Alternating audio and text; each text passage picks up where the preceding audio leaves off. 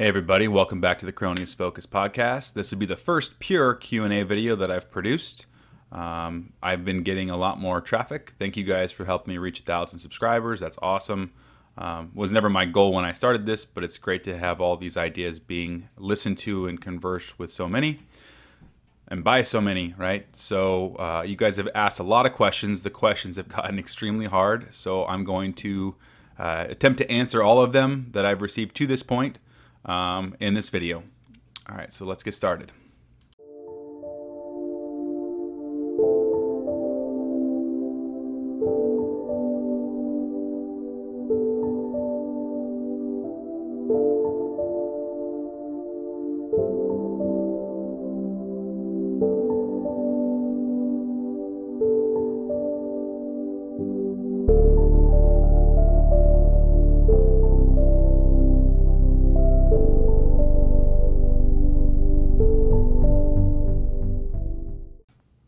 All right, so the first question I get um, or have gotten is some variant of one of the three.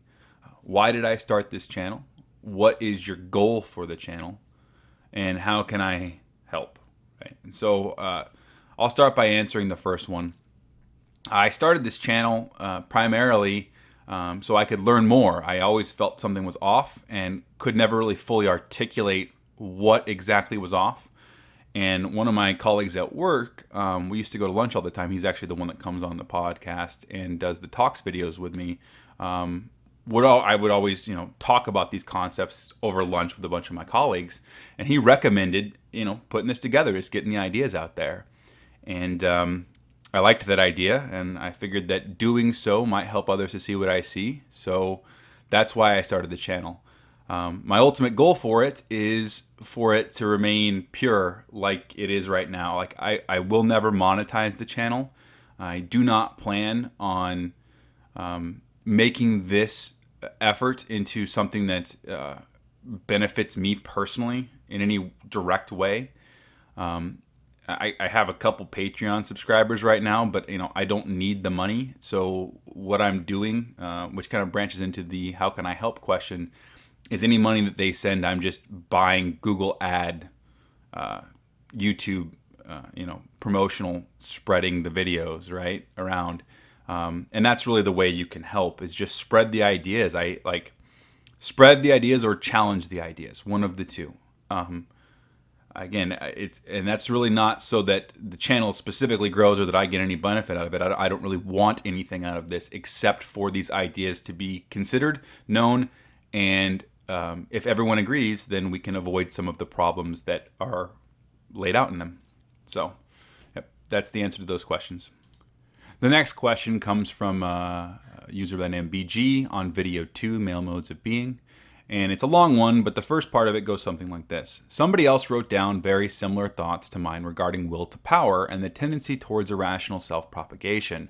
And it feels too that men are rightfully feeling dissuaded by a lack of a virgin, in quotations, so to speak, at the end of their trials, thereby forfeiting most efforts beyond the bare minimum to necessitate their survival as a personal single unit. Though, while there are many men who can seek to game the system we live under, there are a few who feel pallid in the face of such unusual social circumstances, such as modern day intersexual relations.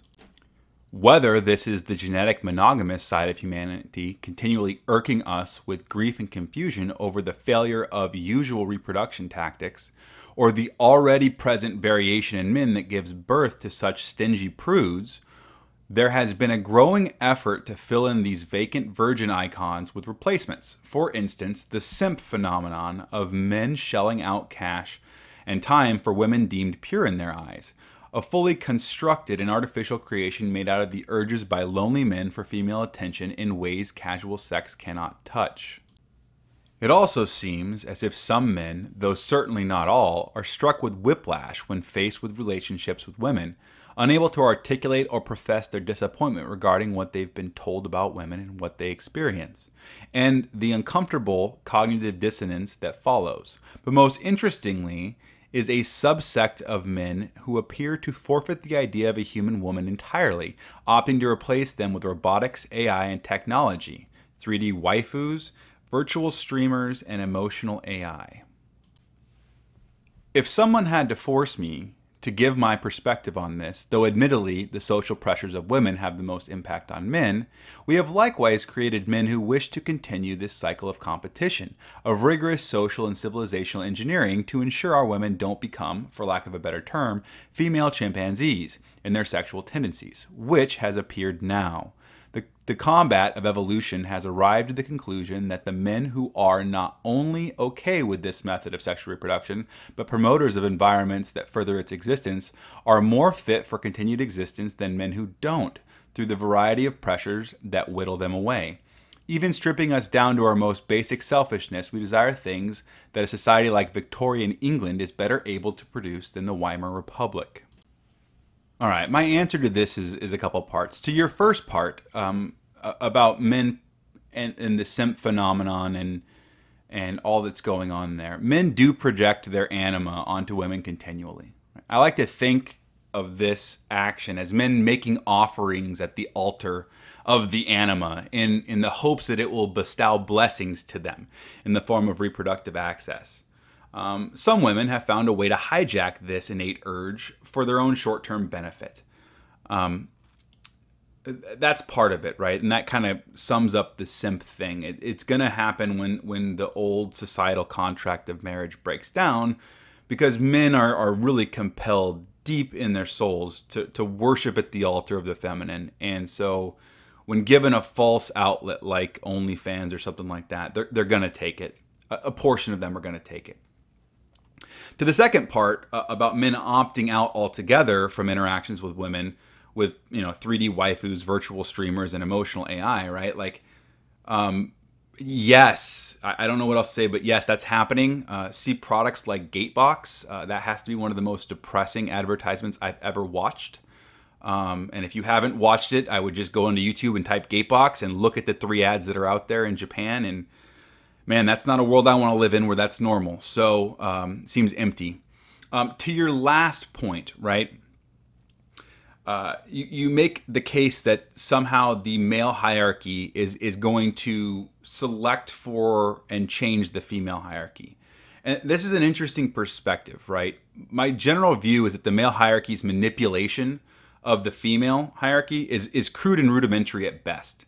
I could be wrong, uh, but it's just it's just been such a short time in evolutionary timeframes that the female hierarchy has even existed. We cannot expect the male hierarchy, hierarchy as a group um, to have evolved uh, very sophisticated evaluation techniques for females.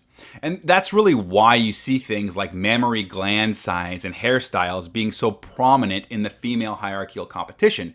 It's a result of the fact that males simply have not developed sophisticated analytical techniques to judge the female hierarchy in any major way yet. And and again, we're entering into an evolutionary filter to the last part of your, your, your question right now where many women are actually self-selecting out of the gene pool.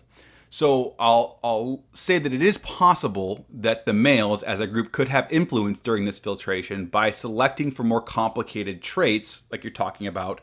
Um, but I have seen very little evidence that the top of the male hierarchy is interested in doing that at all. It seems satisfied with sterile sex and the continuation of the crude analysis of the female hierarchy.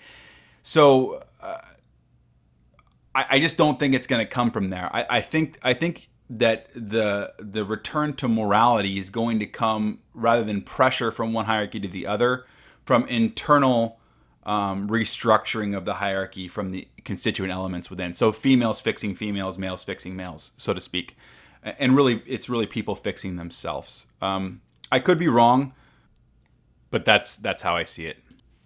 All right, the next question comes from DA, which is a comment on video one. I don't think the objective of evolution is true perception, because an organism that perceives everything in accordance to survival and reproduction instincts reproduces much more than one that is more concerned to find the truth about the universe. This is probably why most religions consider the material world an evil place, and why we have to tame the senses to perceive things as they truly are. I also think you may be implying that evolution is always a process that moves toward progress and complexity, and this is also highly debatable. So there's been a couple questions around this as well. I think in the first video, I um, probably didn't explain better, but I'm using true perception defined as action of said perception being a positive outcome fitness function wise. So it's basically Nietzsche's definition of truth or redefinition of, of the importance of an opinion. As far as evolution moving towards complexity, it is debatable if those paths are in the end the ultimate paths towards maximum fitness, but it's not debatable that evolution is testing those paths actively because we exist, as does all multicellular life and, and very complicated life out there. Um, this kind of question branches into topics that I plan on covering in the Fermi paradox video, so and so I'm going to save those for there. All right, the next question is from TE, uh, and it's a comment on vid 4. In the previous episode, you explained how by evolving monogamy, we decrease competition and increase cooperation. But the monogamy shown there, each male has an equal chance of getting a female of equal value, seems less way suppressive as a reproductive system than, for example, the wolves and scorpions shown in the graph here, where there's still a tendency for females to select the top males. And this is spot on. That's actually a good, a good approach. But what I mean by less suppressive is um, is not focused on the masculine perspective. So you're thinking it from a ma- masculine perspective. Most species suppress male reproduction via the male um, hierarchy, which is, you know, the female when it's present also can play, but there's very little of that. Um, the difference in cooperative species is the suppression of the female. That's that's the sole difference, right? The greater degree of female reproductive suppression, the greater degree of cooperation amongst individuals, and that's a general rule, right?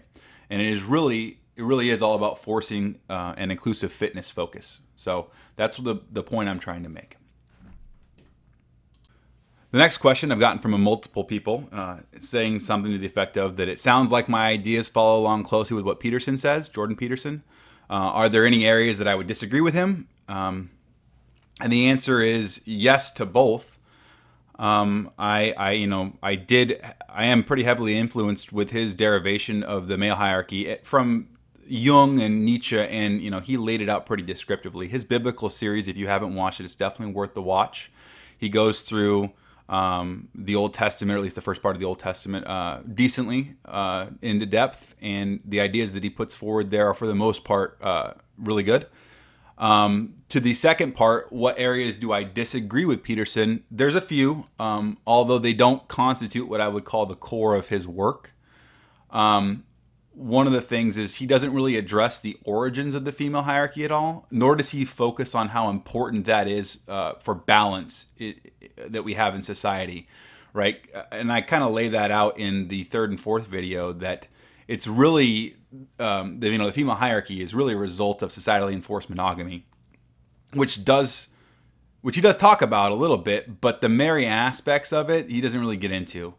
So uh, I think that that's important to note, and that really drives into the next point is that his openness to pharmaceutical fixes for mental conditions I think is too high. Uh, while there are some specific conditions that need medication, the mass ingestion of like SSRIs, lithium, benzodiazepines um, by the population, I don't think is well advised. I um, I think it's about the same as the mass ingestion of hormonal contraceptives. What's funny is I, and it's not really funny, it's tragic, but I think Peterson would probably agree with this position now, given what's happened to him. Um, I, I, think that uh, we, we play with fire when we start messing uh, on a grand scale with a lot of people's cognitive functioning. The next question has a couple variants of it, but I'm going to summarize it in, in one. It's, it's related to video four. Um, and it's something like this. You talk a lot about the left versus right and put them on equal footing in the video. You don't mention how viable it is to really force greater eusociality from a left's perspective. And uh, you know that's a fair assessment. I in that video I attempted to play devil's advocate and give um, both sides their, I would say, Iron Man arguments. Right. My personal perspective is that it is not viable to do that. We don't know enough to be doing what we're doing. I do not know, right? Um, and I do think that the evidence, though, points to people living less meaningful and fulfilling lives in our current attempt at it, in spite of our increased wealth and lifespan. And that given the uh, fertility rates, it's probably not sustainable. The next question comes from some guy with a very interesting name that I don't know how to pronounce that. It looks like it's two little animals from Vid1. And And he says, uh, IC Logo says this If you study anything, you will be inspired and disgusted by it later. Making art and making money on art, engineering to solve problems and engineering obsolescence, personal spirituality and question mark. I am here. This seems like a flat ground approach, so then the idea of as above, so below comes into play. If it's as bad as it is here, how bad is it down there and up there? And more importantly, which one is worse? So, my answer to this question is going to kind of touch on a part of a broader answer to a more broad question about like how we attack uh, what we see as a, a failing or crumbling society. But what I want to say is it's important to remember that faith is an inherent requirement for acting on a non exact solution. We, as neural networks, generate nothing but approximate solutions based on a set of underlying assumptions. Faith in those assumptions is a prerequisite to action based on that analysis. Given this, you must have faith that more accurate descriptions of truth, when acted upon, which means spoken or shared or actual action, will improve the current state of society and move us closer to the kingdom of God.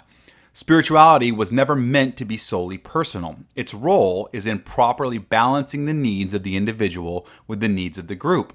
Voluntary sacrifice by the individual of their own selfish ambition and the elevation of the societal needs above your own is the correct perspective. It's important to note that the inverse of this, the forced sacrifice of the individual by the society for its own betterment, is evil and leads to nothing but hell. The next one is basically um, it's from I've gotten question quite a bit, and it's basically a comment that I'm focusing too much on the nuclear family and only women leaving the home most recently, right? what about men leaving the home? What about the loss of the extended family and the small community? And these are all really valid points. Uh, I do not want to make it seem as though a single nuclear family is the ideal um, for our previous lifestyle and to get back some of the traditions and more cohesion. Um, it just happens to be the last vestige. It's, it's the last thing that's hanging on for life right now. And I, I'm it also is the core of the others, right? The two parent home is very, very, very important.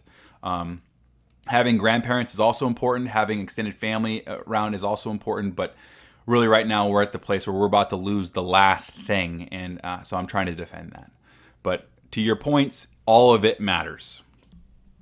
All right, the next question I've gotten a number of different ways. It's how can you be sure that hormonal contraceptive is the primary cause of all these issues you lay out? What about the death of religion, the rise of social media, um, the feminist movement impact, the industrial revolution, et etc., etc.? Uh, the answer is that I cannot.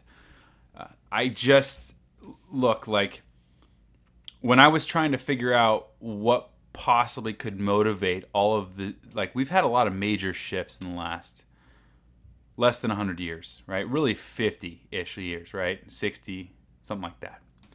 And i was trying to, to, to figure out one fundamental shift that we had during that time frame that could help to explain some of this.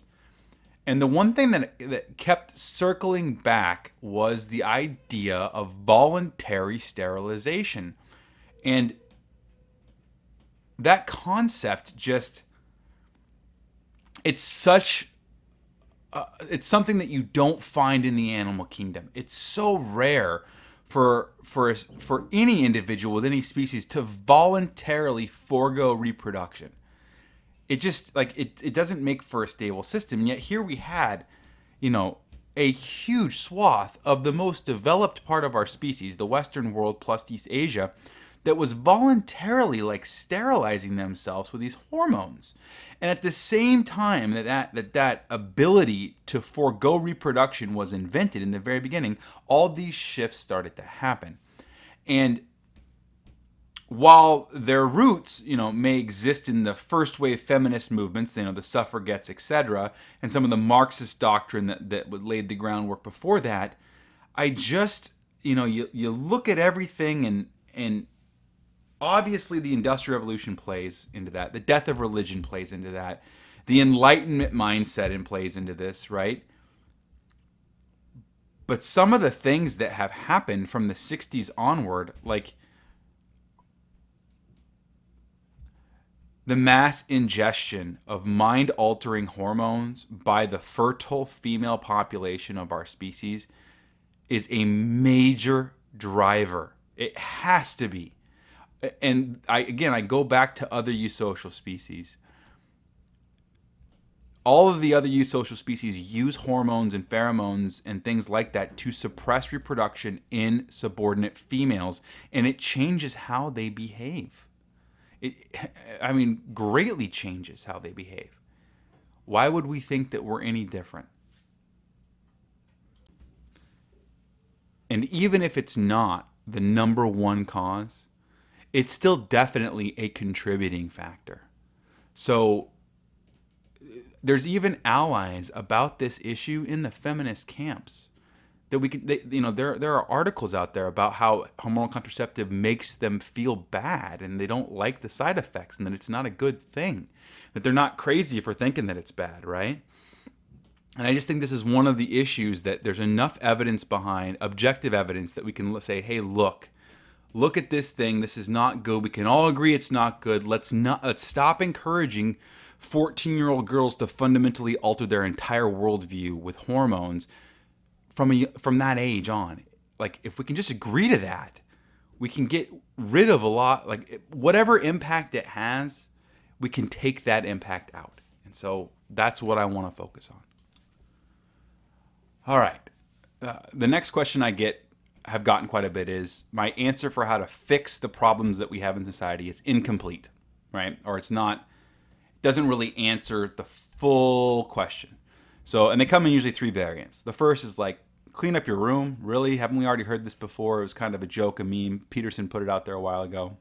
The second is like, hey, you know, fine, your life gets better, but it doesn't really change anything. You still, you know, how do you make society, all these trends that are happening, how does that help you fight those trends? And then the third is that society is too far gone. Uh, better to just let it die. Uh, nothing you can do at this point is going to help, right? And no amount of self integration or individuation or improvement is going to fix anything. And all right, so I'm going to address these in order. To the first point, clean up your room. Really, uh, look, that's a fair that's a fair criticism. I, I don't I think cleaning up your room as the first step is is not it's not the right first step. The first step the first I mean everyone's in a different state, but the first step has to be cleaning your body. If your body is not in proper shape, if, if you're not taking care of your physical vehicle correctly, everything that you try to motivate yourself to do is going to be harder than it should be. So start with your body and clean your body. And then the second step is to clean your mind. And as an extension of your mind is how you operate, right? And that's where the room and everything else comes into play. Set up the environments to exist in. And then you know once you've sorted that out then then you can move on to trying to help other people sort out their stuff. But you really have to master all those internal demons. You know you're driven by a lot of forces. And so i think the first one the one that, that a lot of americans struggle with a lot that you know peterson even mentioned i'm not sure why he didn't make this his first is is hunger and and really the appetite and gluttony it's it's a major you know that and sexual lust are the two main uh, you know vices of modern America and mo- modern West, and so of the two, I think that fixing diet is the most important. Because if you do that, if you fix the gluttony aspect and the obesity aspect and you get your body working correctly, you'll have plenty of energy to try to accomplish the other stuff. And then you're not constantly expending willpower to maintain um, domination over your your your your food processing systems, right? That we all seem to struggle with. Proper diet will help with that. All right. So that's kind of the first thing. Yeah, cleaning up your room is, is part of the process. Again, it, it's an oversimplification, but you really need to go through the process of individuation and put all those subsystems under your control. Get them into check. Quit letting them run your life. And I think that starts with the ones most important to the body, and that's going to be diet and exercise. All right. So, second question. Fine, your life gets better, but it doesn't change anything. It's like, yeah, well, that's not true. And so I'm going to speak from some some personal experience here because I went through this process with my own life over the last, let's say, three years. And one of the striking, the most striking things, other than than how effortless the the advancement became towards the end is that just by talking about what I was doing with friends and family, I noticed I noticed a shift in all of them. And that's what the strangest thing for me was, which really cemented this nodal view for me is that you know, I didn't really push on anybody. I didn't make anybody do anything. I just shared what I was doing and by the results I was having, people noticed the change in my demeanor, my personality, they thought I was more stable. I had more control over my the way I was speaking. My all of my relationships with my my family and my friends and my my in-laws all improved. Like everything just seemed to get better. And more than just from my perspective, I noticed that they started to tackle some of the difficult problems they had in their life as well it's almost as though and I don't want to I don't want to presume that they were inspired. That's not that's not what I'm trying to say. It's that that by again, it goes back to what's written in Matthew is that first you pluck the beam out of your own eye and I had a beam in my eye. And I plucked it out. I got I got myself balanced. I figured out what I was seeing in the world, why it was frustrating me, why my communication never seemed to make anyone see my point of view right? That was the biggest thing that bothered me. I saw these things, but I could never convince anybody that, that what I was seeing was real. They always just they always just scoffed at my perception. And the reason is is because the perception when embodied in the form I had by the manner in which I spoke and the manner in which I presented myself. And again, I, I was relatively successful, right, at that point. I was still making decent money. I had a good paying job, had a family, a wife. I was six, I, I wasn't a failure, but and yet people were dismissing what I thought was obvious logical perception of the world. And it wasn't until I really made the effort to internalize all of that to better my own life, to live by those rules that I was seeing, that everyone started to pay attention to what I was saying and say, you know, there's something, there might be something to this. And then people start to diet better and lose some weight and they feel really good and they start to read more and they start to, to you know talk less radically to one another like it just it had a calming effect on the entire node that I was connected to. And look, maybe maybe I was the agitated node making everyone upset. I don't know. The point is overall everything around me calmed down and improved. And that's one part of it. And now part of that entire process for me is this YouTube channel and these videos where I'm trying to share what I've learned and people are receptive to it. If everybody did this, right? I don't have all the answers, neither does anyone. We all have differing perspectives that all are valid and need to be shared so that we can look at everything and say, all right, yeah, I like this from this, I like that from this. I'm going to combine all these things together to help myself. If everybody went through the process of actually doing this and speaking very carefully and putting their ideas out there in, in the best reflected manner they could, we could get a real handle on some of these problems. But right now, so many people are unstable and they may see the problem, but they speak about it in such an unstable way that everyone just turns off and doesn't want to listen. So, your goal is to try to be the the best representation of what your perception embodied actually results in so that people will pay attention to what you say. That's the point. And I guarantee I guarantee you you can think of times when you've told someone what you know to be true and they dismissed it and you can't figure out why. Well, the answer is because you're not convincing enough. You're not and to be convincing, you have to live it. That's my point you don't really know how to live it. So you got to figure that out. And it's something that you never stop doing. You never stop doing it. All right, and then the last part is society's too far gone, better to just let it die. And to that, I simply say no. I, am not going there. I, I look, I've had comments that talked about, you know, Moloch and, uh, you know, Ted Turner's 600 million comment, the Georgia Guidestones like pretty much every you know again and the Moloch stuff comes from a lot of the Bohemian Grove rituals, right? Like all of this stuff, I am aware of all of it. Like I I understand all of the conspiracy theories that are out there. I get it. And uh, what those tend to do is paralyze you.